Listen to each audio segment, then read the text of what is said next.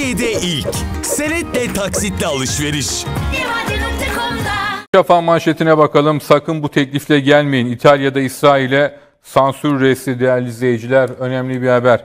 İsrail'in kamu denetçisi, kamu baş denetçisi Şeref Malkoç'un İtalya'da Ombudsmanlar Konferansı'nın konuşmasını sansürlemeye kalkıştığı ortaya çıktı. Türkiye heyeti Malkoç'a e, söyleyin, e, Türkiye heyeti Malkoç'a söyleyin Gazze bölümünü çıkarsın diyen İsraillere çok ağır bir cevap alırsınız karşılığını verdi. Malkoç konuşmasında 42 bin sivilin katledildiği Gazze'nin mezarlığa dönüşünü söyleyerek gerekli mesajı verdi.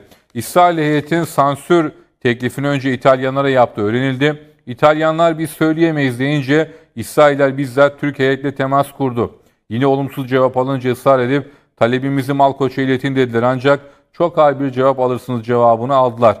Durumdan haberdar olan Malkoç da eğer bu bölümü konuşmamdan çıkarırsam insanlığımı kaybederim yorumunu yaptı. Konferansta Gazze'de yaşananların katliamı ve Türkiye'nin üstlendiği rolü sinevizyon eşliğinde anlatan Malkoç, dünyada yaşanan insan hakları ihlallerine kayıtsız kalmamayı bir insani görev olarak gördüğünü, bu nedenle böyle toplamda dile getirilmesi gerektiğini söyledi. Şeref Malkoç'a İtalya'da Cassino şehri barış ödülü verilmesi de İsraillere ikinci mesaj oldu.